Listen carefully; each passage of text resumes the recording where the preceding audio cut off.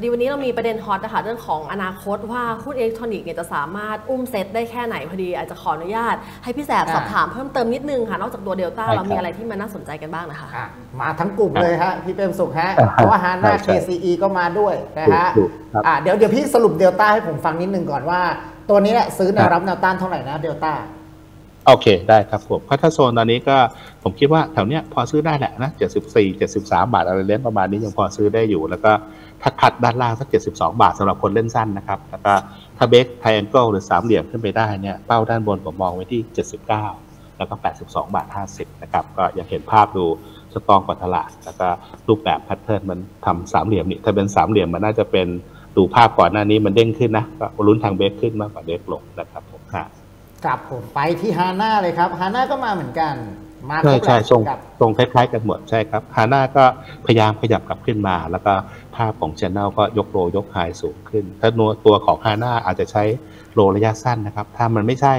ต่ำกว่า 39เนี่ยทรงเริ่มดูดูผิดทางละแต่ถ้ายังใช่อยู่ก็ผมลองตีสโลปถ้าเป็นขยับขึ้นไปของตัวฮาน่ามันอยู่สัก 43 44 แถวนั้นนะครับ ผ่านไปอาจจะได้สัก 46 แต่คิดว่า 43 บาทจนถึง 44 อาจจะเริ่มตึงๆนะครับจากจากชแนลที่เขายกตัวขึ้นมา ก็ภาพคล้ายกันแต่ดูสัญญาณนะเมื่อสักครู่นี้ตัวของของเดลต้ายังอยู่ในเกณฑ์ลุ้นว่าเบรกไม่เบรกอยู่แต่ตัวหาหน้าเบรกขึ้นมาละตอนนี้ก็พยายามค่อยๆ ปรับตัวขึ้นครับก็ส่งคล้ายกันก็เป็นบวกทั้งสองตัวนะครับผมครับผมแล้วก็ KCE KCE ครับ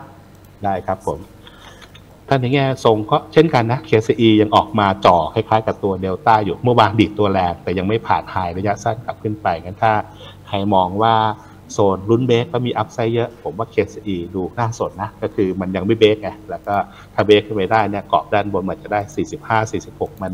10% up นะครับก็อาจจะมองมองใช้นี่สำหรับคนที่รับความเสี่ยงได้มากหน่อยครับแล้วก็กรอบในการหนีหรือแนว cut loss กรอบโซนด้านล่างก็อยู่สักประมาณ 39 บาทตรงนั้นนะครับก็เป็นเป็นทั้ง 3 ตัวอืมภาพของ pattern คล้ายกันหมดเลยฟอร์มตัวอยู่ในโซนด้านล่างทำท่าจะพลิกตัวกลับหลายคนบอกอ้าวเขาไม่ไปเล่นตัวไฮเทคเหรอโอเคไฮเทคมันก็คงได้เปรียบกับเราอะนะแต่อย่างน้อยๆถ้ากลุ่มนี้มันขยับขึ้นเนี่ยทุกตัวมันก็คงได้ได้อันนี้ส่งส์ทางบวกด้วย บาทดูไม่ค่อยแข็งก็ยังเป็นเป็นอีกสองแรงบวกก็อาจจะมองมองตัวเลือกนี้แล้วก็จากภาพที่เห็นแล้วกันเวลาที่เรา trading ในแง่ภาพทางเทคนิคก็พยายามหาหุ้นที่ดูเก่งกว่าตลาดอยู่ ก็อิเล็กทรอนิกส์ก็หนีไม่พ้นสามตัวเนี้ยมันภาพคล้ายๆกันหมดอยู่โซนต่ำดูแข็งกว่าตลาดทำท่าจะเบรกขึ้นก็ลองตามดูนะครับผมครับนะมันก็อาจจะสอดคล้องกับพื้นฐานเขาคือจริง ๆ แล้วกลุ่มอิเล็กไตรมาสหนึ่งออกมาไม่ค่อยดูดีนะพี่เปรมสุขนะ แต่ว่าใช่ใช่ครับในฝั่งของ NVIDIA ในฝั่งของ AI ในฝั่งของสหรัฐอเมริกาเนี่ยครัเขาบก็เติบโตดี